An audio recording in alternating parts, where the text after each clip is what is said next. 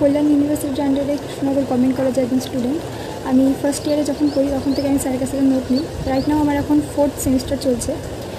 তো আমার third semester result কালকেই বেরোলো। আমি সেভেন পয়েন্ট ওয়ান ফাইভ পেয়েছি। আমি যখন ফার্স্ট ইয়ারে পড়ি, তখন আমি স্যারের কাছে নোট নিয়েছিলাম। এখনও স্যারের কাছে আমি নোট নিচ্ছি।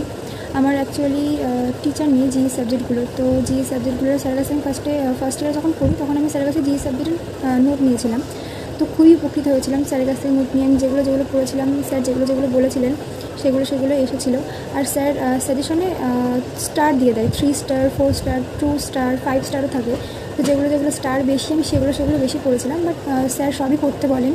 কিন্তু যেহেতু আমার হাতে টাইম বেশি ছিল না, তাই জন্য যেগুলো স্টার মার্ক করা কোশ্চেন আমি সেগুলো করেছিলাম। সেগুলোর থেকেও আমি মানে সবই কমন পেয়েছি বলতে গেলে।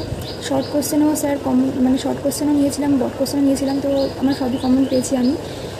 আমি থার্ড সেমিস্টারে আমি স্যারের কাছ থেকে আমার ফিলোসফি অনার্স তো স্যারের কাছ থেকে আমি ফিলোসফিতেও কোশ্চেন নিয়েছিলাম, তো ওখান থেকেও আমি সব কমন পেয়েছি।